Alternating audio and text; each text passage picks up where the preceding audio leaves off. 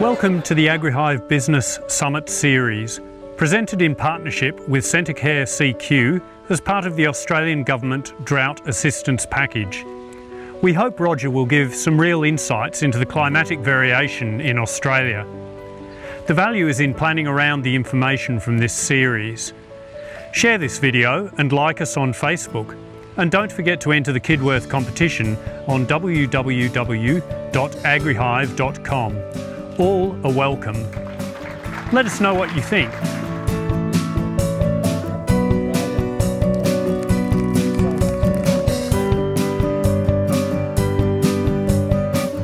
Well, market insight is of no help to anyone if you don't have feed or even stock.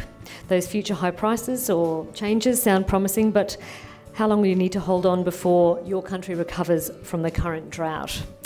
Our next speaker wants you to be able to use climate models yourself to better enable yourself to do your own forecasting and, of course, make better informed decisions. If you've ever looked into the sky in hope for rain, then you've probably heard of Professor Roger Stone from the University of Southern Queensland.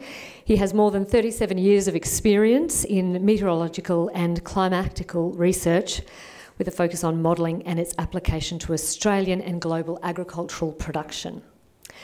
Professor Stone is the Program Chair of the UN World Meteorological Organization Commission for Agriculture and Meteorolo Meteorology. I knew I wasn't going to get through all of this without one slip up. But more importantly, he is our next guest speaker, so please welcome him to the stage. I have too many slides as always, so this talk normally takes three hours. So you're lucky to get the 15 minute version, provided that Nicole can keep me on time. so I just press the enter button and away we go, yeah? Uh, thanks to Meat and Livestock Australia, who's uh, funded a lot of this work over the years. I don't have 36 slides there just in case I get a few questions. So acknowledgements to University of Southern Queensland and the Technical Commission for Agricultural Meteorology. This is in uh, a technical commission, not a political commission. So a few um, take-home points uh, to put this in some sort of context. Australia has the world's highest level of rainfall variability. Everyone knew that? Highest in the world. More than any other country on earth. After us comes South Africa, Germany, France, New Zealand, India, UK, Canada, China, and so on, way down the list. We have the highest in the world. Remarkable. Everyone knew that? Yeah. And in Australia, the way you read this, uh, any area shaded white has less variability than you would expect given the annual average rainfall and, uh, and latitude. Any area not shaded white has higher rainfall, higher variability rather, higher variability than you would expect given their latitude and annual average rainfall. So those areas shaded orange and red have the highest rainfall variability in Australia, and Australia has the highest variability in the world. That's the first thing to put up with, which is fascinating, isn't it? Absolutely incredible and we, we're pretty close to one of those red dots, I would say. Quite a remarkable feature. So that's the first part of the patterns we have to contend with. Almost counterintuitively, the higher the variability, the easier it is to forecast on a seasonal basis. And it all comes back to this. These patterns in the global ocean, particularly the, um, the Central Pacific Ocean, uh, around here along the, uh, along the equator. This is back in October of 1988. I don't know what your season was like in 88, 89, but my guess it, it would be pretty good. Notice there you've got warmer than normal sea temperatures around the uh, Coral Sea and around northern Australia, and cooler than normal water out there in the central and eastern Pacific. That's the sort of pattern we need for the really good seasons. 2010 was exactly like that. 1974, for anyone that can remember back that far. 1956 was like that. Okay, Just like that in the oceans.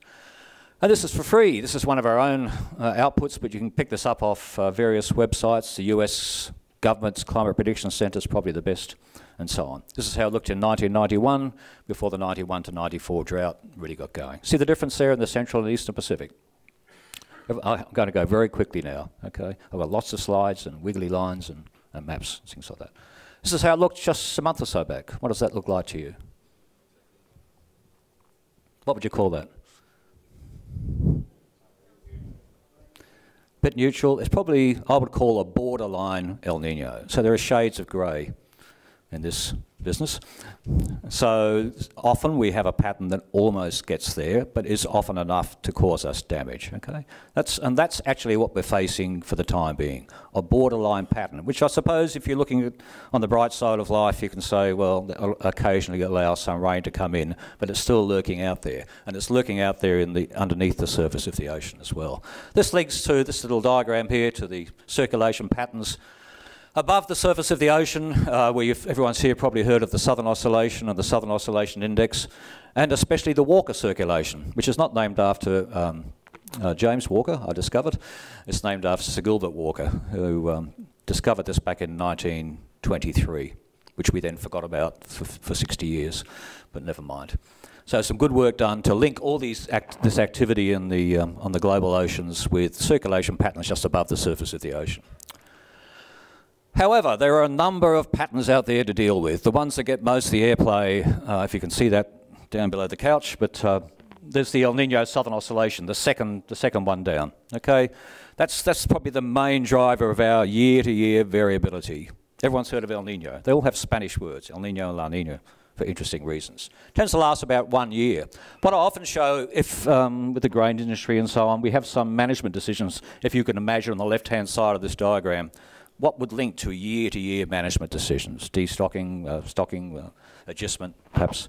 There's the Madden-Julian oscillation. Anyone heard of that, the MJO?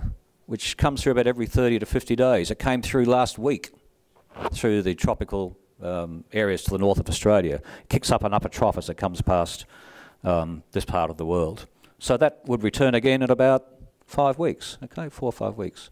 Be interesting. So that helps you with the timing of rainfall. They, it, most often, not always, depends on the type of year. But in these types of years, it's probably the main period you're going to pick up your rainfall. There's another one called the quasi-biennial oscillation. It's my favourite. Doesn't get much airplay. For some reason, ABC don't like to cover it. I don't know why. They even edit it out if I speak about it. It's, um, it's, a, it's a lovely, it's a lovely beast. It's been a, it normally has a two-year return period. It's the main reason for the drought conditions we've had in Northern Territory and um, around this part of the world for the last few years. In the last month, it's moved into a slightly more favourable pattern. That's good, yeah? It's good. It links with other systems out there. There's the Antarctic circumpolar wave, the uh, southern annular mode, the latitude of the subtropical ridge, which is where the high pressure cells move further north or south every 10 years. Decadal, interdecadal patterns, 50-year patterns, and a bit of climate change as well, if you, if you like looking at that. All mixed up together. There's even a couple I haven't mentioned there, which makes life interesting. So they, they all have their role, they all have their different time periods. These are the key ones, the MJO, the El Nino Southern Oscillation, or ENSO, and the latitude of the subtropical ridge. 40 years ago, Barrie Pittock and CSIRO produced this little diagram on the left-hand side, and it still works. He said this, if you're looking for impacts of El Nino when you've got an El Nino developing in the Pacific Ocean, or a La Nina on the other side, on a year-to-year -year basis, that hatched area there is the main part of Australia that has, it feels its impacts. That's in Australia. Notice that line is roughly, if you have a look at the map up around this part of the world, is roughly halfway between um, Winton and Boulia. So west of that line has far less impact from El Nino and La Nina, one way or another. A bit in winter, but doesn't matter so much perhaps in winter, which is not their main production period.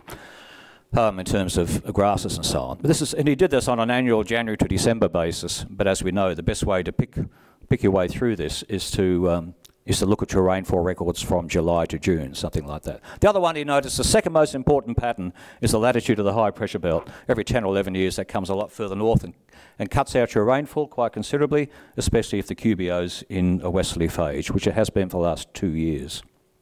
This is what the QBO looks like, and the impacts it has on our rainfall September, November, one of the reasons why it's been dry in the southeast and recently drought declared. I'm going to move quickly, um, Nicole, okay? You can ask me about the QBO afterwards. You start putting all this together, along with upper level winds in the Pacific Ocean. These are westerlies. You can look at this uh, off the Climate Prediction Center from the US. Westerlies are the bad guys uh, along the equator. You can see that, that burst there, uh, which is associated partly with tropical cyclone around um, Hawaii, which is very rare unless you have an El Nino developing. Unless you have an El Nino developing, you don't get those westerly bursts out of cyclones in Hawaii. So that's not a particularly good sign. If we put some of this together, you get a model output. This is a climate, an ocean model, forecasting what's going to happen in the Central Pacific, that important part of the Pacific we talked about very early on. Okay, This is out of the best climate prediction centre in the world in terms of ocean atmosphere modelling, which is in Washington, D.C., as it turns out. And it's predicting what? It's predicting warmer than normal sea temperatures out there in the central and eastern Pacific right through until autumn or beyond 2015, which is an El Nino event. Okay?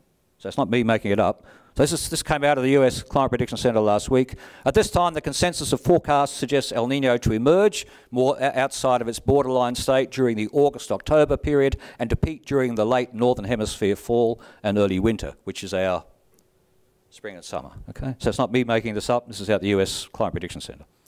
And that's the forecast of what the sea temperatures are going to do in the central and eastern Pacific. Now, this gets updated almost every day. So if you want to get it on that website, you can copy down very quickly at the top. That's that CPC. You can track this every day as easy as I can. Okay? So this is the idea of tracking this on a day or week-to-week -week basis.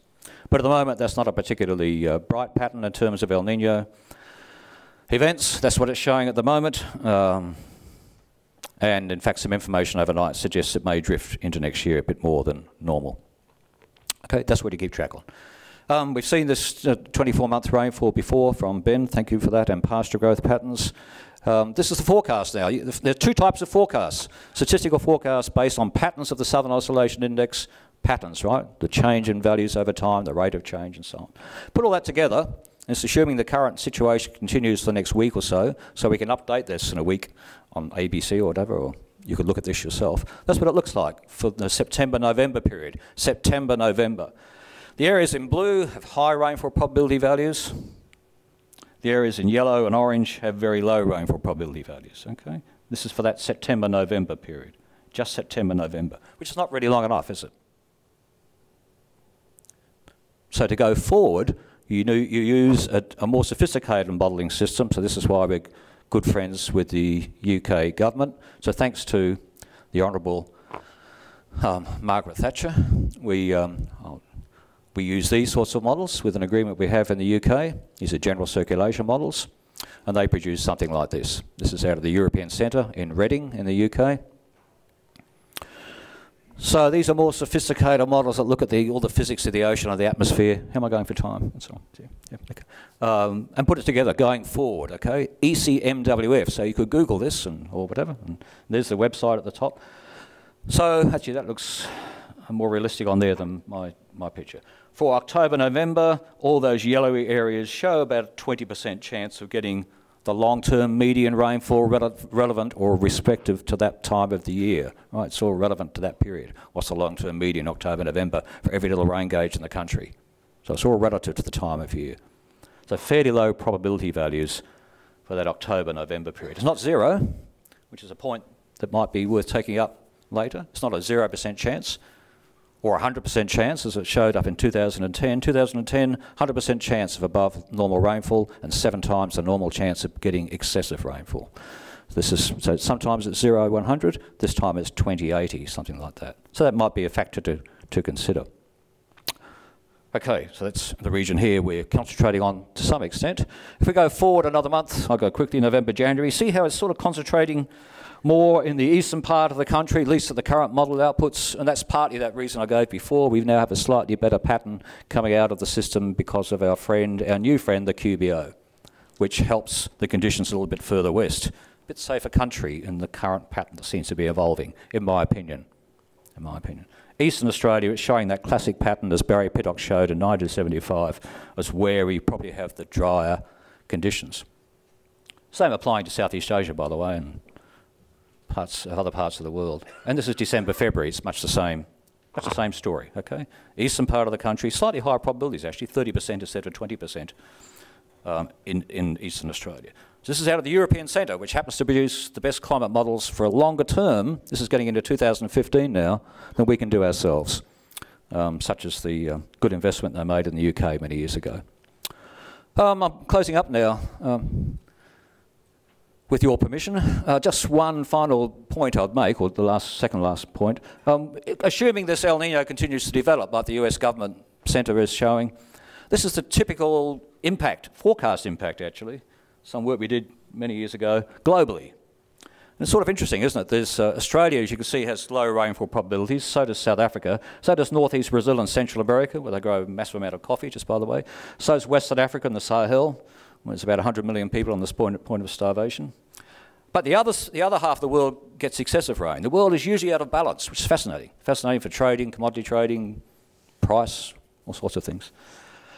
Uh, so much of China gets excessive rain, while we have uh, very much less rain. Eastern Africa tends to get flood rain, gets them out of drought. Ethiopia and um, Kenya, those areas. Argentina tends to get uh, much more rain, so they get high rainfall probabilities. The US gets high rainfall probabilities. Parts of Europe and Eastern, uh, um, Eastern Europe and into Central Asia tend to have good years as, as well. Uh, this is going further into the year, but notice China and, and so on there getting high rainfall while we're getting fairly low rainfall. It's interesting. The world's usually out of balance, and uh, um, it's, that has interest, I think, for things like price and exports and demand and all sorts of things. That's my second last slide, and we're doing some work, thanks to uh, Tom Davison and MLA, with looking at the whole uh, supply chain of this sort of issue, as well as looking at all the good work in in producer production areas in um, drought preparation and, and adjustment and so on, but also the transport processing issues, a whole lot of decisions make there that this sort of climate information, if targeted appropriately, could have high value, we think, uh, through to market signals and, and global trade and so on and so forth. Interesting work that we can, um, we can develop with your um, interest. So, summary. Recent marginal improvement of the overall pattern due to a shift to this more favourable phase of the QBO, right, a new friend, the quasi-biennial oscillation. So the main benefit would be further west from here into Northern Territory and so on. So it usually, it's, it's been the reason for a lot of the dry weather we've had in that part of the world for the last few years before this El Nino pattern started to develop. A borderline El Nino in place, that gives a slight bit of hope. If it weakens off a bit, allow a bit of rain to come in, um, it, so it's not all bad news for the time being, I guess you'd say, particularly east, I said on the radio, east of the railway line, east of the highway, roughly east of the highway, right? So this main area El Nino has impact, places like Emerald and Alpha and places like that. Most of these ocean atmosphere models, especially the US government model, which I, would, which I hang my reputation on, the Climate Prediction Centre in Maryland, show some intensification of this El Nino through our southern hemisphere spring and into summer. Main, main impact on eastern Queensland, eastern Australia. No clear sign of a breakdown in this slowly evolving sort of pattern in the Pacific Ocean in the southern hemisphere autumn when they mostly break, so still look to see if it will break in autumn of 2015. There's no clear sign of that happening at this stage. Always update this on a monthly basis or a weekly basis. Um, and there's a need to link to management decisions across this whole supply value chain. And that's my email address, and always have um, pay homage to the Central Pacific Ocean. Thank you very much. Share this video and like us on Facebook. And don't forget to enter the Kidworth competition on www.agrihive.com. All are welcome.